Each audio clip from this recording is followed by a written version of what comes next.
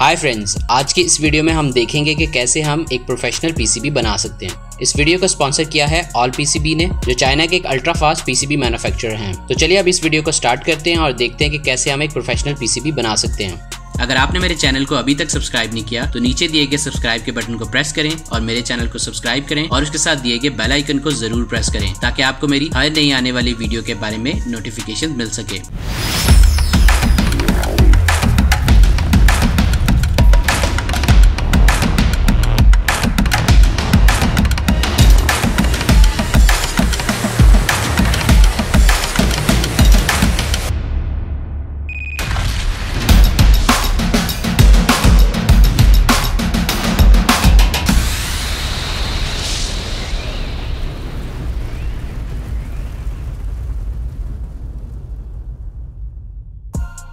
तो सबसे पहले हमें एक पीसीबी लेआउट तैयार करनी होगी। तो मैं रिक्वायर्ड कंपोनेंट को उनकी जगह पे लगा लेता हूँ।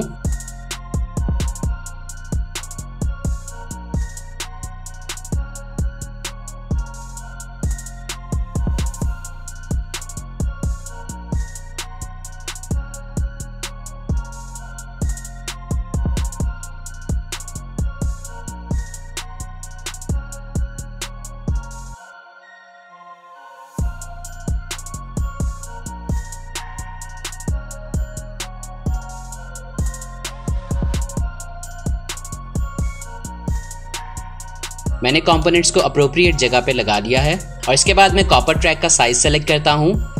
इसके बाद मैं ऑटो राउटिंग के ज़रिए पीसीबी लेआउट को तैयार कर लूँगा।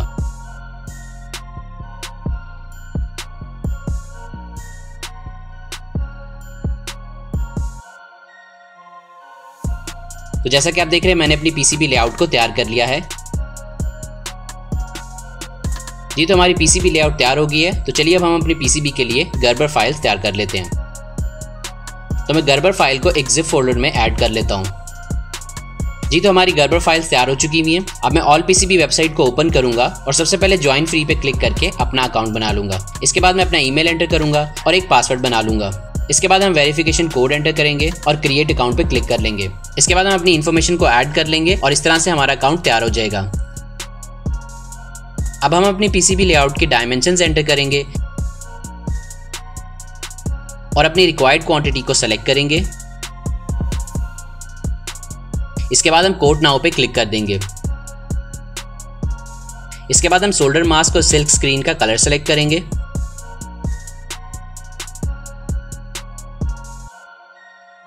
इसके बाद हम शिपमेंट के लिए अपनी कंट्री को सिलेक्ट करेंगे और ऐड टू कार्ड पे क्लिक कर लेंगे। इसके बाद हम अपनी गर्बर फाइल्स को अपलोड कर लेंगे।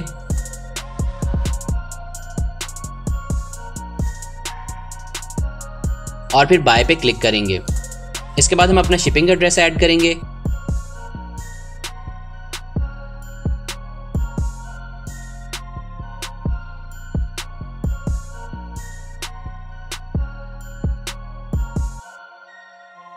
और इसके बाद चेकआउट पे क्लिक कर देंगे और अपने पेमेंट मेथड को सिलेक्ट करके पेमेंट कर देंगे। इसके साथ ही हमारे पीसीबी के लिए एक ऑर्डर फ़ाइल हो जाएगा। इसके बाद हमें तीन से चार दिनों में पीसीबीज रिसीव हो जाएँगी।